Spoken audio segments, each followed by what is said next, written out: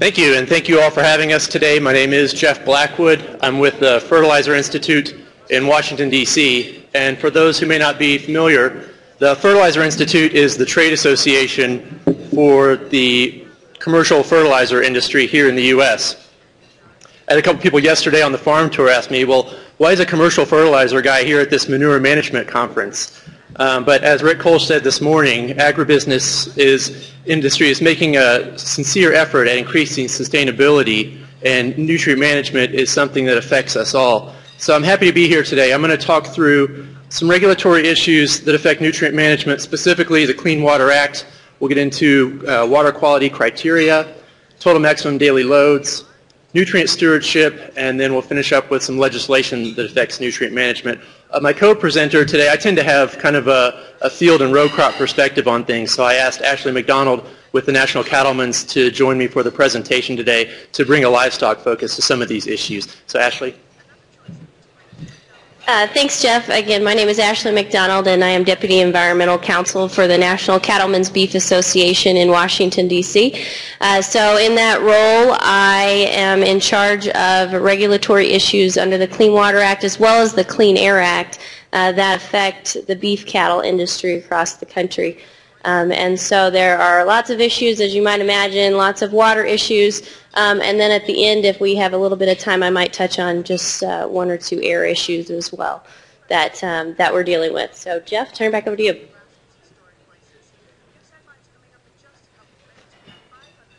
Thanks, Ashley. So the first slide here, this is a press release that was issued by EPA just last week. Uh, EPA commissioned a study on the health of the nation's waterways, and the study came back and found that 55% of the nation's stream miles are in poor condition for supporting aquatic life. Now, this isn't just related to nutrients in the waters, but nutrients are a big part of the problem uh, with water quality.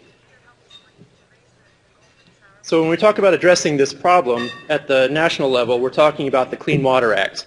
Uh, that's the regulatory framework through which this is addressed. The Clean Water Act came into place uh, back in 1972. Before that, there was a federal water pollution law dating to 1948, but really the Clean Water Act as we know it came into place in 1972. Uh, quick overview of what the Clean Water Act looks like. It all starts with water quality standards, which can be numeric or narrative. Uh, the Clean Water Act delegates the authority of states to monitor the waters if they are meeting the water quality standards, everything's good, they apply anti-degradation measures to ensure they continue meeting those standards. If they don't, they fall under uh, what's called the 303D list for impaired waters. And then it falls to the state to come up with implementation strategies to improve water quality. And that can be through total maximum daily loads or TMDLs. Uh, other strategies, which we won't really get into today, uh, include NPDES permits, sections 319 for non-point sources, as well as sections 401 and 404. So talking about water quality standards, these are intended to achieve a designated use, and that could be uses like drinking water, direct contact for swimming, non-contact like boating or fish consumption. Criteria can be narrative or criteria can be uh, numeric. Numeric criteria are quantitative measures like seven-day average of 5 milligrams per liter of dissolved oxygen, whereas uh, narrative criteria, the traditional narrative criteria is no toxic and toxic amounts. Uh, TFI has always argued that numeric criteria aren't always appropriate for nutrients, uh, since some nitrogen and phosphorus are needed in waterways to support a healthy ecosystem. But that's not the case for other pollutants where the ideal level in the waters is zero. We're going to look at a couple specific areas in the country where numeric nitrate criteria are an issue, specifically in Florida and the Mississippi River Basin. Oops. So in the case of Florida, um, we're kind of at the tail end of a, a long process um, where Florida and the U.S. EPA went back and forth about who would set the water quality criteria in the state of Florida. As I said, the Clean Water Act delegates that authority to the states. But in August of 2008, uh, environmental advocacy groups sued EPA for not establishing numeric nutrient criteria for Florida's surface waters. In January 2009, EPA determined that statewide numeric criteria were necessary for Florida to be in compliance with the Clean Water Act. At that point, EPA committed to promulgating phosphorus and nitrogen criteria for Florida's waters, which they did in January of 2010. Uh, around that same time, the state of Florida, Florida's Department of Environmental Protection, also proposed criteria for some waters. This proposal passed the Florida legislature and was signed by the governor and sent to EPA for an, approval. So this was an attempt by Florida to retain control of their state water quality standards. We had a long period where nothing really happened on this, and some of the more cynical folks might say that the Obama administration and the, uh, the EPA were waiting for the election last year to pass before they uh, did something so controversial in a swing state like Florida. Uh, lo and behold, uh, last November, late November of 2012, the EPA approved Florida DEP's partial state criteria, but they also proposed criteria for waters that were not covered by that state criteria. And then just last month, in March, Florida DEP and the EPA reached an agreement calling for additional legislation that will put the state in its charge, put the state in charge of determining numeric limits on nutrients in state waterways. So back in the midst of all this, uh, TFI, the Fertilizer Institute, challenged EPA's efforts to impose numeric nutrient criteria in Florida. And we were joined uh, in that suit by National Cattlemen's, Florida Cattlemen's, and other interested parties uh, like Florida Wastewater Control and Florida Utilities also joined in that lawsuit. Um, the result of that lawsuit ended in a decision in the U.S. District Court to vacate EPA's proposed stream standard based on lack of scientific grounding. And that decision set the stage for the recent EPA FDEP agreement. So that's where we stand now. This headline was also just uh, two weeks ago in a newspaper in Florida. Uh, so the result of all this, uh, after a great deal of lit uh, litigation, action at the state capitol, action at US EPA and in Florida's region, but Florida will retain control of setting their water quality criteria. Uh, the proposal uh, is moving through the legislature now, and it should be uh, signed by the governor in short order, and then has to be approved by EPA, which they've given pre-approval. So we certainly expect that to happen. This is a publish, map that's published by Florida DEP shows the result of all this. Um, the various shades of blue are waterways that are covered by Florida's numeric nutrient criteria. Uh, this shows uh, inland flowing lakes, in, uh, sorry, inland flowing waters, freshwater lakes, estuaries, and then the purple there is the Everglades. So we're kind of at the end of uh, the process for this Florida numeric nutrient criteria. Next, Ashley's going to talk a little about the Mississippi River system and a proposal for numeric nutrient criteria there. Ashley? Sure. Well, obviously what happened in, in Florida was very concerning because of the precedent that it could set for the rest of the country. Um, and one of the areas that we thought uh, EPA or environmentalist groups would go next is the Mississippi River Basin, and that's exactly what has happened. Uh, in 2008, actually, environmentalist groups actually petitioned EPA to set numeric nutrient criteria and find that it was necessary in the Mississippi River Basin. Um, in 2011, EPA answered that uh, petition by denying it. Uh, they denied the, that petition um, and, and said that they would not set numeric nutrient criteria in the Mississippi River Basin, uh, partly because of what happened uh, in Florida. Uh, it was very political, and, and we all know what happened down there with the court case as well. Uh, in March of 2012, environmentalist groups actually sued EPA um, based on the denial of that petition. Um, and so that has led now to the litigation that we're currently in in the Mississippi River Basin. Now obviously this affects the agriculture industry greatly. Uh, as you can see on the, on the map, obviously this is an, an enormous uh, river basin. It's one-third of the contiguous United States, um, and it covers a lot of the corn belt. It, it covers uh, what somebody I heard earlier say the beef belt. Uh, I like that term.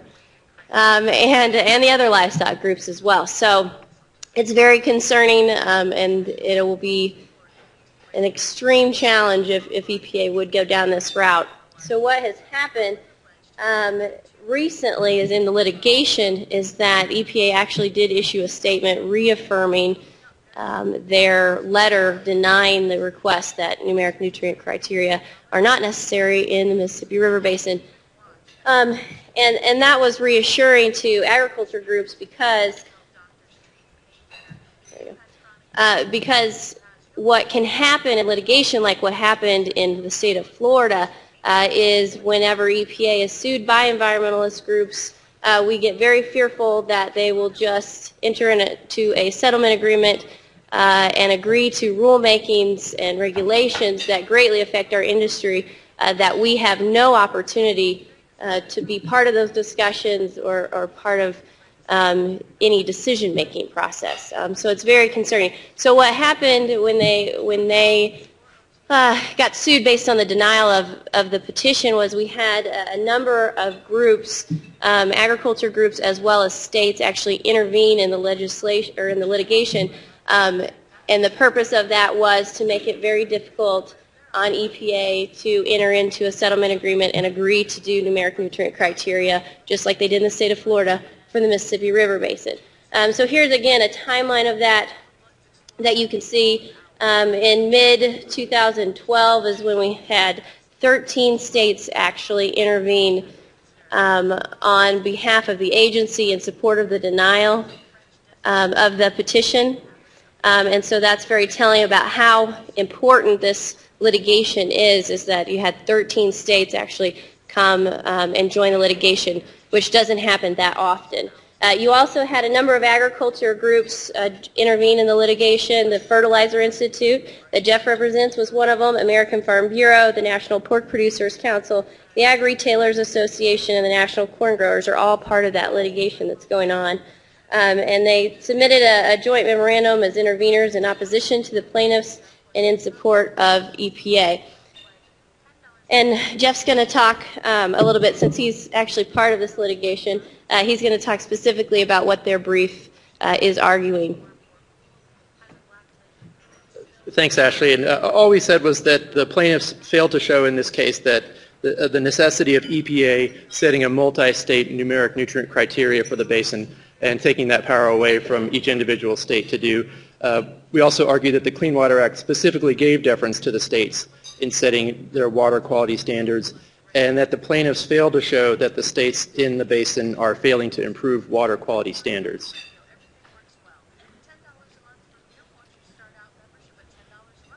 So those are the two hot topics for water quality standards. Moving further down into the Clean Water Act, uh, we're going to talk now about uh, impaired waters on the 303D list and specifically about uh, total maximum daily loads, or TMDLs.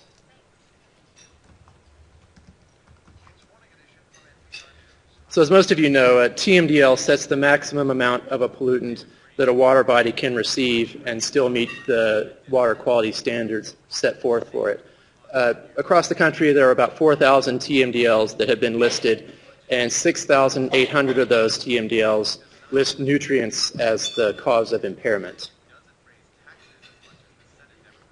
We're going to look at one high-profile watershed where a TMDL is under development um, this is the Illinois River uh, that runs between Arkansas and Oklahoma. This portion here is northwestern Arkansas. It's a very productive poultry region. The river starts up here, watershed starts up here, and then flows. This is the state border between Arkansas and Oklahoma. It flows over this way near Tahlequah, Oklahoma, and then down into Lake Tenkiller, where it's a very popular recreational area. And Ashley's going to talk briefly about this TMDL. School after a bit. Uh, so uh, what happened here is, again, like everything uh, that I feel like I deal with, uh, it all started with uh, some litigation between the state of Oklahoma, um, and actually this litigation started, um, they actually sued Tyson's poultry operation. So they were going after the poultry industry because of the phosphorus that ran off pastures and fields um, that was applied. Um, and and I'll touch on that actual litigation a little bit later, but uh, what ended up happening is, is that Oklahoma actually asked EPA to do a TMDL for phosphorus um, in this river. And the state of Arkansas was obviously not very happy about that um, because they knew exactly what that would mean for their state. and then in 2009, EPA actually uh, had developed a TMDL, but then the states uh, actually ended up agreeing that they would delay it for three years uh, because they thought it, they needed more study um, and in development of a model that could better predict um, a TMDL.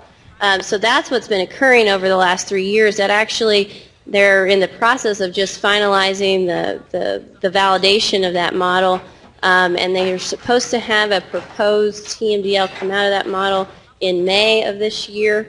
Um, and then after that, they'll they'll go through the public comment process like they are required to, um, and then a final TMDL will be set in the fall of this year.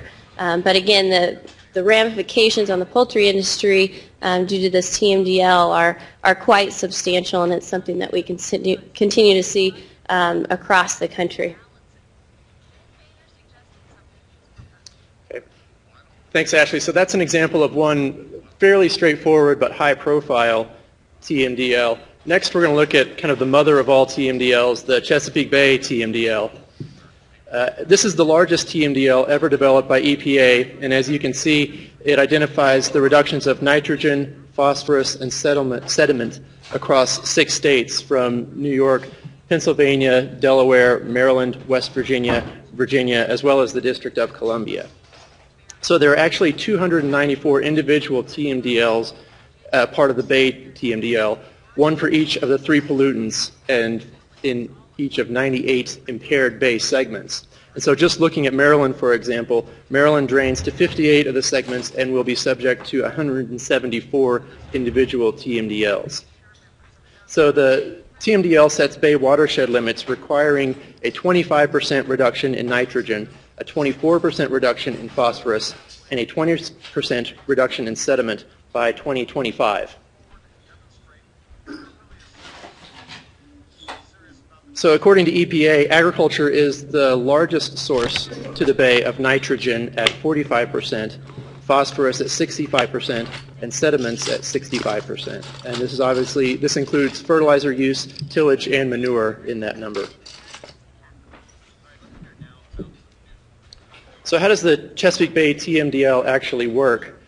Uh, so it's up to each state to develop a watershed implementation plan, or WIP. And we're now in the phase two WIPs that the states have submitted and are submitting to EPA for approval.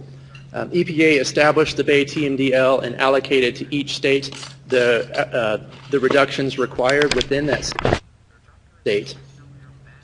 Now they've set two-year milestones. EPA will monitor the progress of the states in implementing their WIPs and then uh, employ federal steps if progress is inadequate. And so another example, just looking at Maryland of what is included in the WIP, even, it goes down to the county level and uh, includes such things as the wastewater treatment facility is going to reduce phosphorus by X amount uh, by this year. Um, it also spells out they're going to clean up um, septic systems that have failed within the county. And then at the statewide level, it has a nutrient management plan, not just for animal feeding operations, but for crop operations as well. And in this case, uh, Farm Bureau, TFI, the National Association of Home Builders, and others have sued, arguing that the EPA overstepped its legal authority and encroached on the state's responsibilities by setting those specific allocations for nitrogen. Uh, the suit also questions the validity of the models used to help establish nutrient loads in the TMDL. And in this case, oral arguments were heard last October. Uh, we're unsure how much longer until a decision is reached, but it could be any day. So those uh, are a look at some of the big regulatory trends across the country that are affecting nutrient management. Um, on the fertilizer, fertilizer industry side of things, we have launched a nutrient stewardship program, a voluntary uh, nutrient stewardship program within the industry several years ago. Um, we actually have a full-time staffer that administers this program for TFI. Some of you may know Lara Moody. She was a former attendee at this uh, conference in her capacity at Iowa State. But she heads this program for us. So, many of you are probably familiar with the 4Rs. I heard them mentioned in a presentation this morning. But four R's uh, are the, using the right fertilizer source at the right rate, at the right time, and at the right place.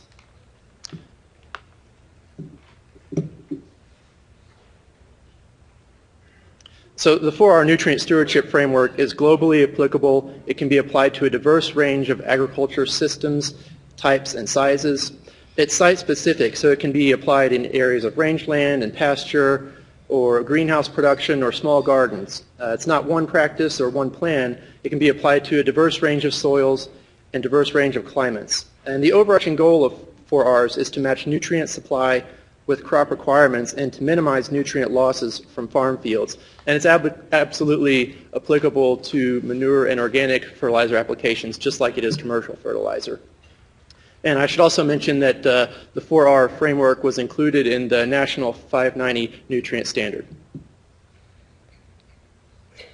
So here's one example of uh, where the 4R uh, framework has been adopted uh, as a nutrient management strategy. This is Lake Erie. You can see on the map, uh, the photo was taken by NOAA. This was in uh, the summer of 2011. Lake Erie has had a recurring problem with algae blooms. That's what this is here in the western edge of the lake. Uh, this is Cleveland here. This is Detroit up here. Um, but Michigan, Indiana, and Ohio all drain uh, into the western Lake Erie basin there. And so this algae bloom was creating problems for water quality health and it's disrupting commercial and sport fishery in the western Lake Erie basin. And so TFI worked with our retail members in that region to really get the word out about 4R nutrient stewardship to their farmer customers in that area. We also partnered with the Nature Conservancy to spread the word about 4R nutrient stewardship.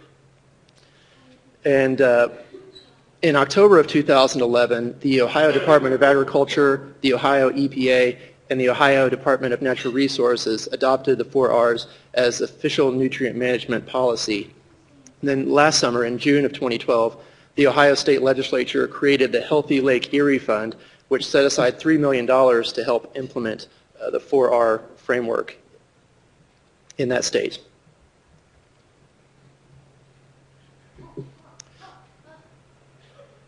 So that's uh, what the industry is doing uh, to address uh, nutrient management.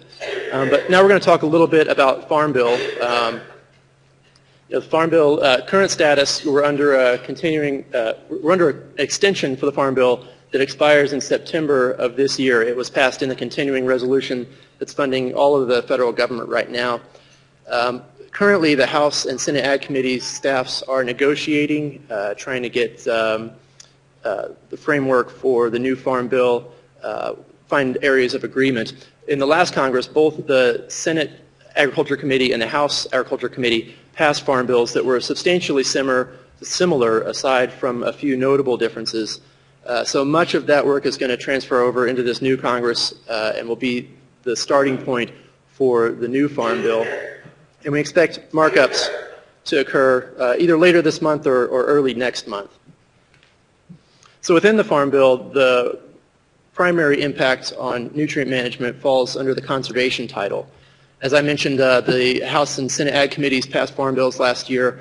Uh, both of those bills consolidated 23 existing conservation programs into four fundamental program functions. At the same time, it achieved $6 billion in deficit reduction. So the four program areas are working lands programs, conservation reserve program, regional conservation partnerships, and easements programs. And so as you can see under working lands programs, that includes uh, EQIP, CSP, and conservation innovation grants. And under the EQIP program, they did keep in place the 60-40 split for funding with 60% going to livestock producers. Just a last word on Farm Bill and where do we go from here. Um, you know, every conversation in Washington right now is uh, about uh, budget and fiscal policy. So uh, there undoubtedly will be some cuts made to the Farm Bill uh, that the Congress works on this year. Aside from that, um, we are now operating under sequestration cuts that went into effect on September 30, um, uh, that will be in effect until September 30, rather. Uh, most USDA discretionary programs were cut by 5%. Farm Bill commodity and conservation programs were cut by 6% under sequestration, and that, that has to go into place between now and September 30.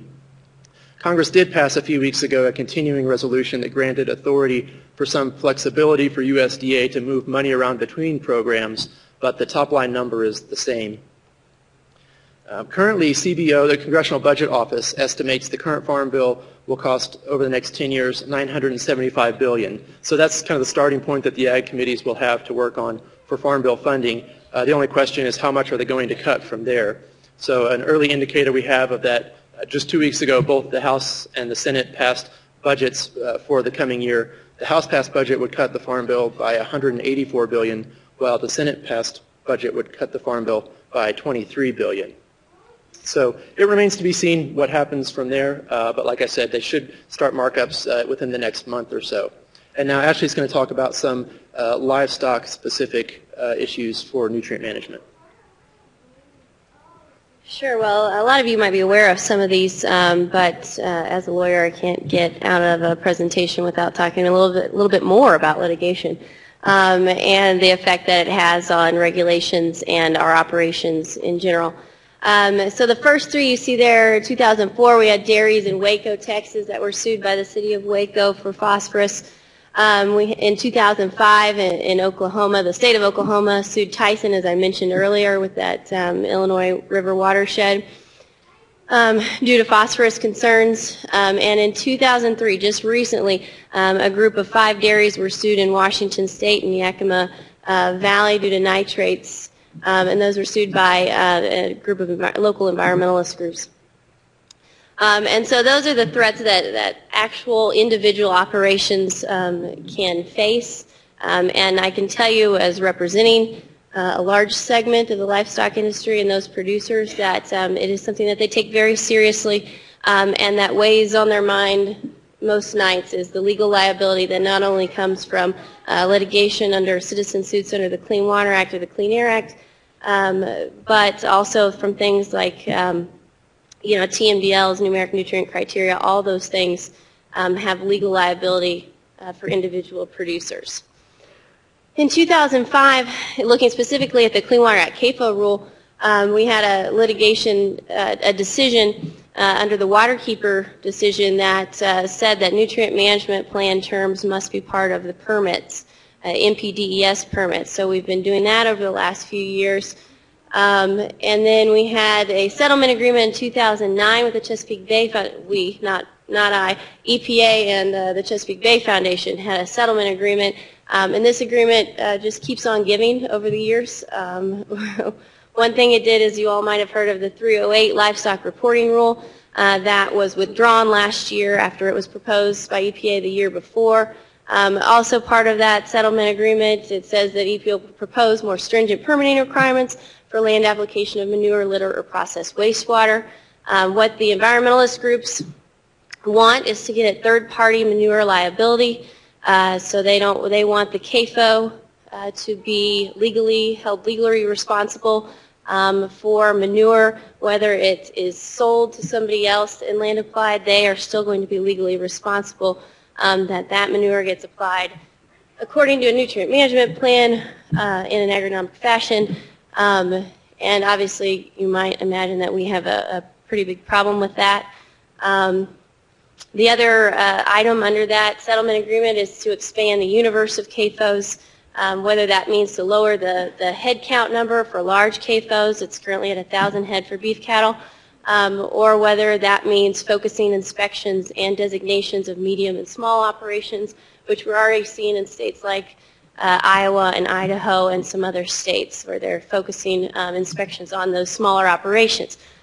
So uh, it said all those items uh, have to be proposed in a rule that uh, is scheduled now.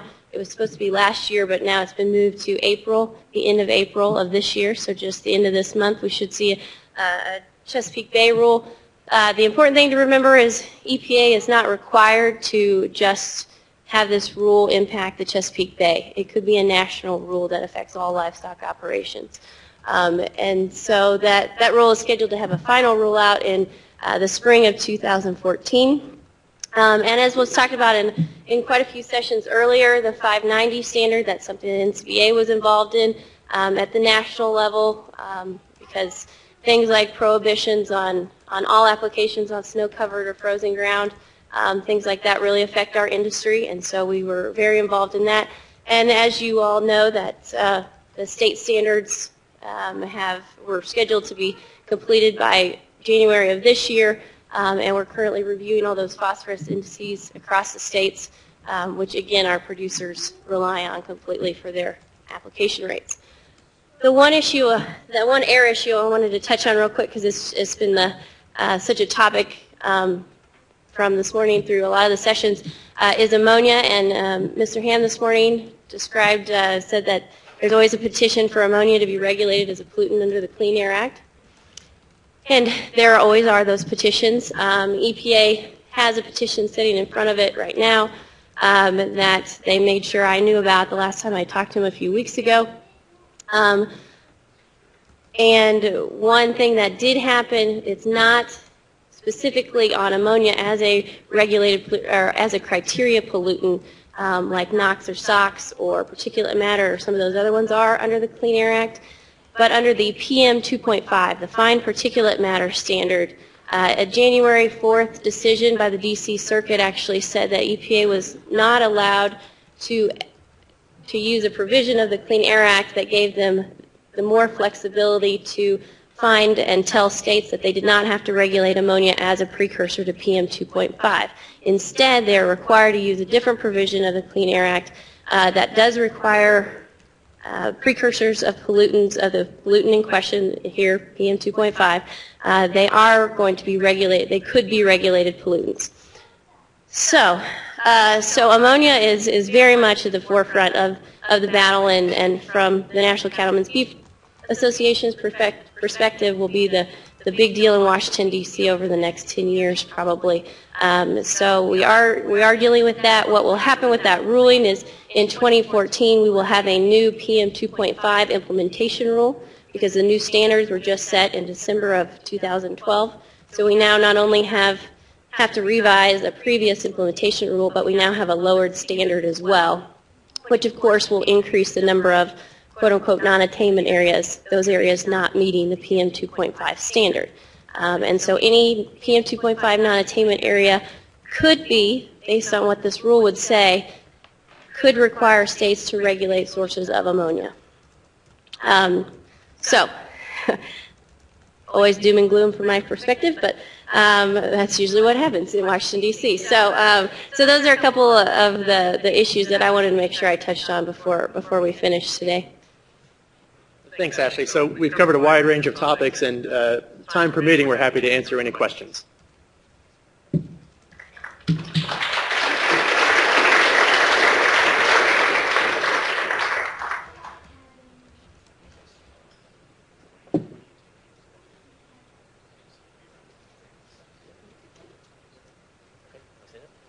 So questions?